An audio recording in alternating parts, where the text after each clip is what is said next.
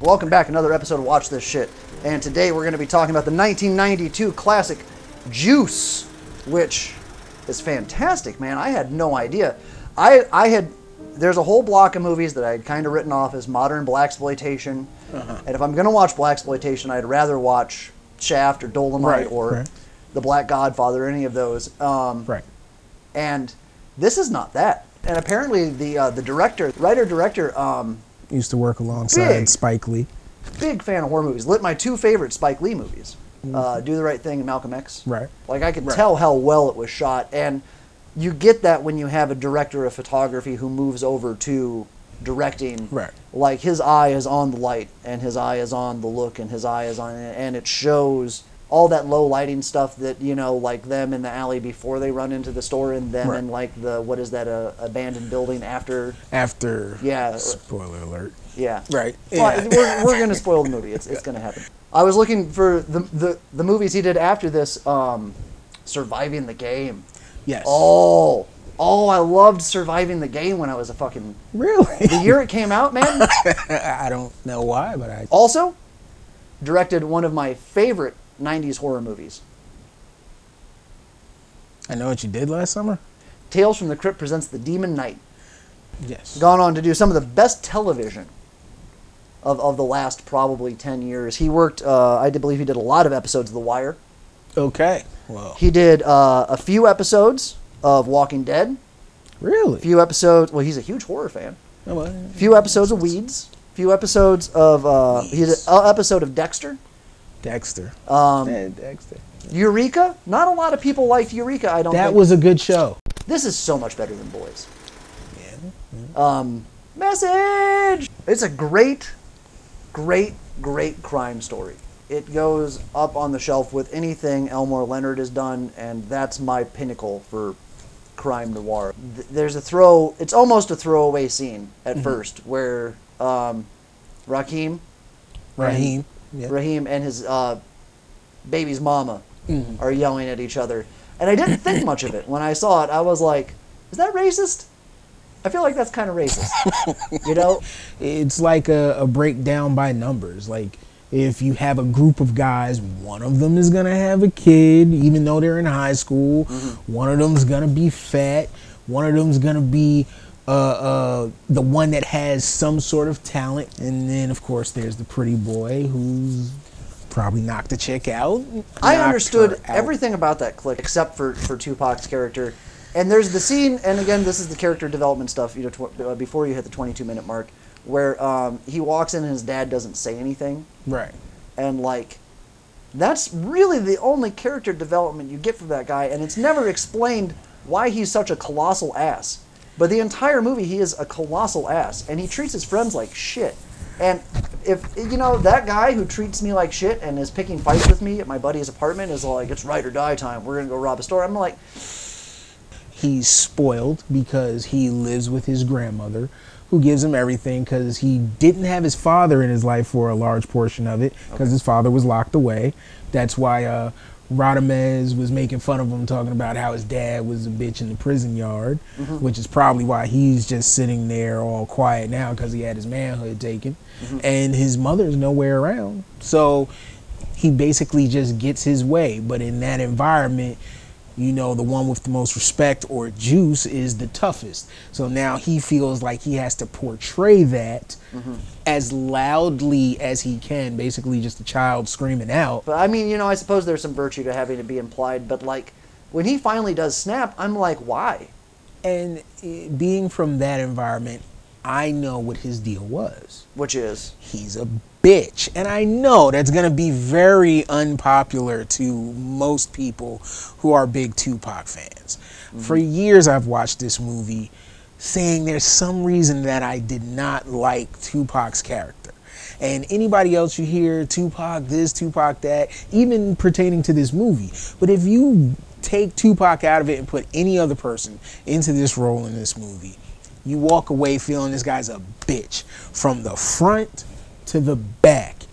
The one thing that I did like about Tupac, he had this one gangster line where uh, him and Q were going back and forth at it. He's like, "You saying I ain't shit?" And Tupac looked at him, got right in his face, and said, I tell you, mama, you ain't shit. First of all, two things that are instantaneously going to start a fight. Okay. Any mention of a, an African American male's mother, All right.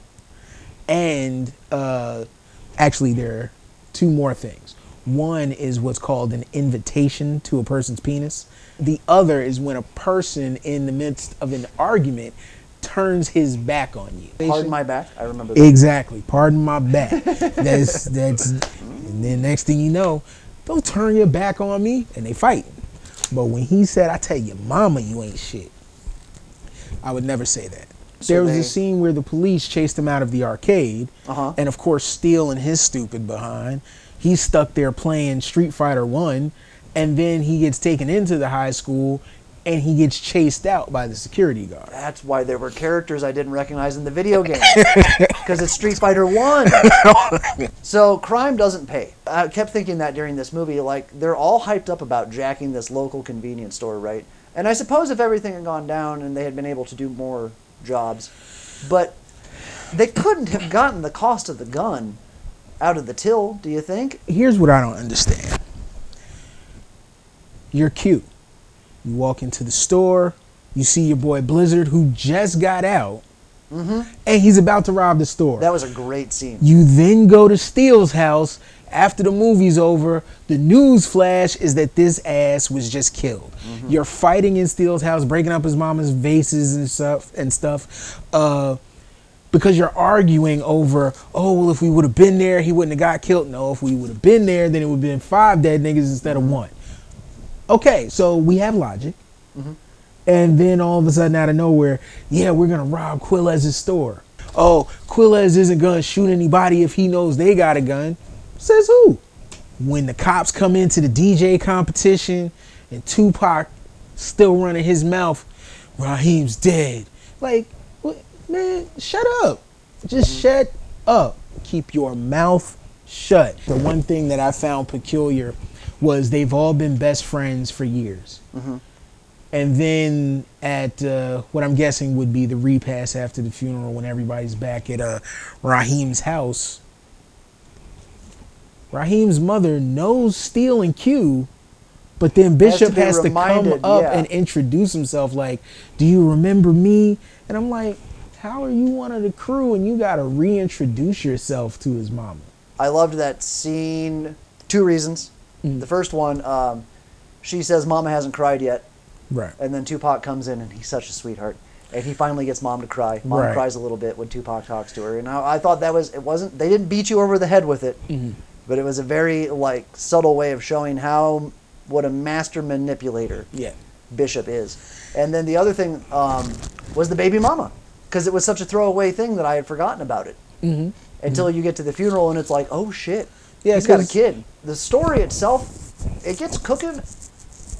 I mean, like you, you spend 22 minutes getting to like these guys, Mm-hmm. and you do like them, except for Tupac. And then the story um, starts with the robbery. It's 22 minutes in, and it cooks all the way, and it, and it cooks hard, and it keeps you engaged, and it, and it's cool, and it's interesting. And about 115, I'm like, oh god, is this still happening?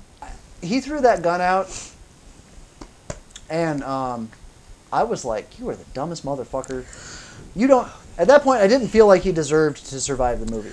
Honestly, I agree with you. I agree with you wholeheartedly. The only person who thought that was a good plan was MacGyver. Him and Batman. Q, MacGyver, and Batman are the only people who thought that was a good idea. uh, another really gangster scene. So it was two for Tupac. oh, okay. I tell you, mama, you ain't shit. Mm-hmm. And then when they were in the elevator together, and Q looked at him and said, "What? You gonna shoot me here in the elevator?" And then he sure enough cocked that bitch and shot at Mm-hmm. him right there in the elevator. He's super gangster.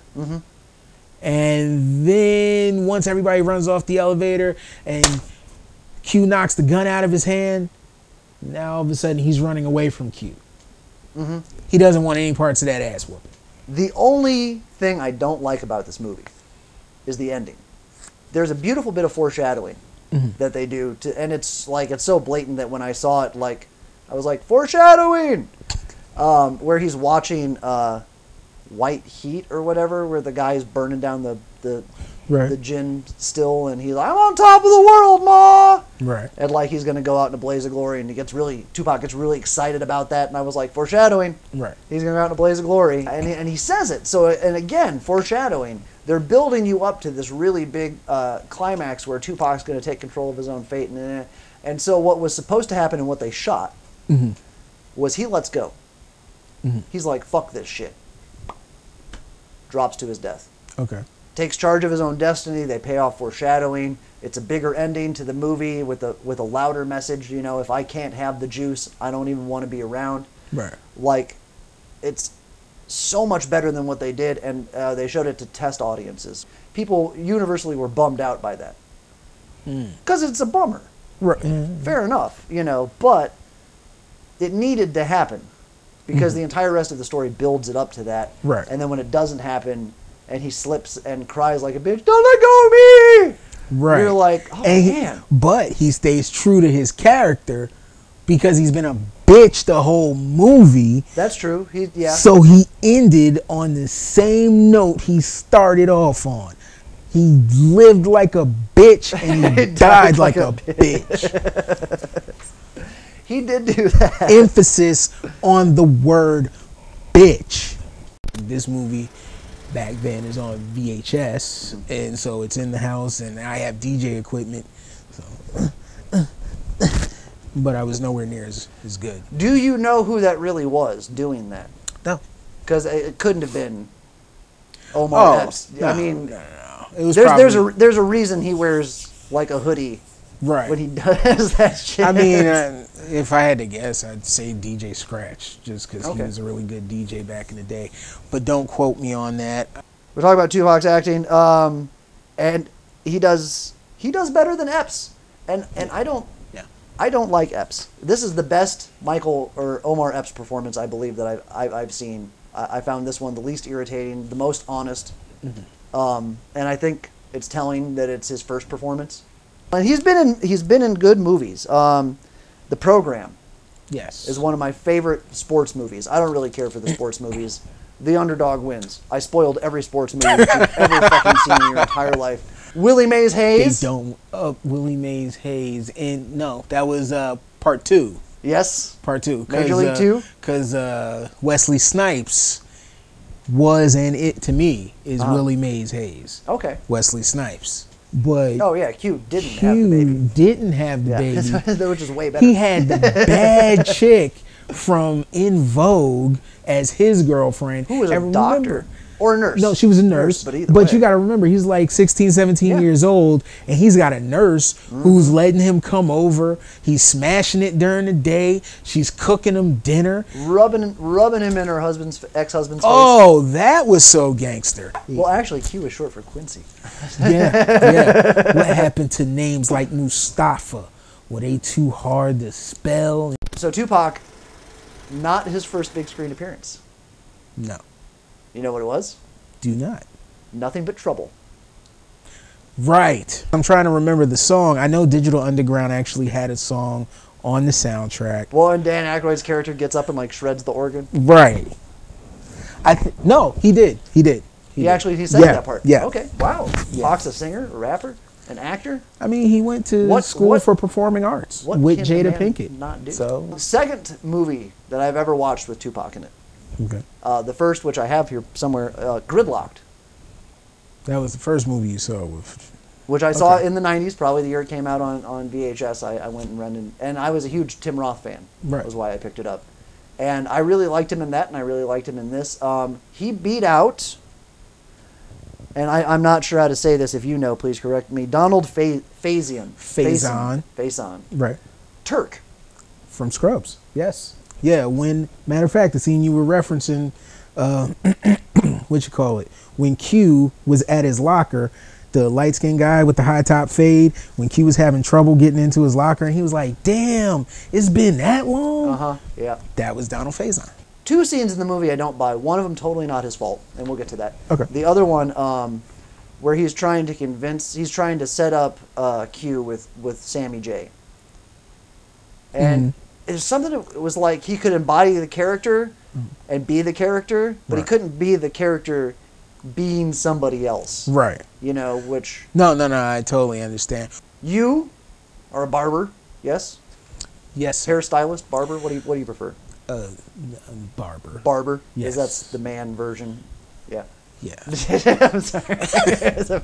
Yes, Um, I am a barber two box at hair. University Barbershop. That you know that What actually came. fuck? First of all, that actually came up when I was watching the movie. Okay. Because I remember when we were watching Boys in the Hood, I Mm-hmm. I pointed out how whack the haircuts were. yeah. The haircuts were definitely better in this movie.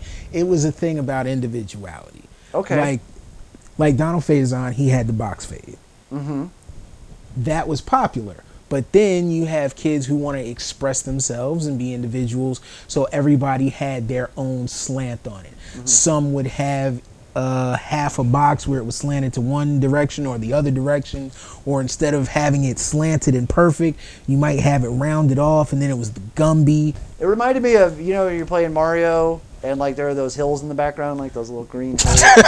and one's always a little bit bigger than the other one. All right, so that was Juice, the 1992 classic crime noir.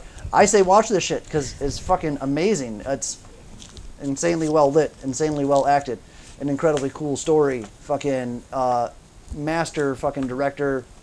There's nothing not to like about it except for the ending, which the rest of it's so good that you kind of you can you can forgive the last 12 minutes of the movie. Uh, I'm an African American male that Really? grew up in the hood of New York. Uh, during this time period, a lot of it rang true. right. a lot of a lot of the movie rang true to me. There was some good acting done. Uh, I definitely give this a watch. This shit. It is one of my favorite movies, and I've watched it a few times. So, watch this shit.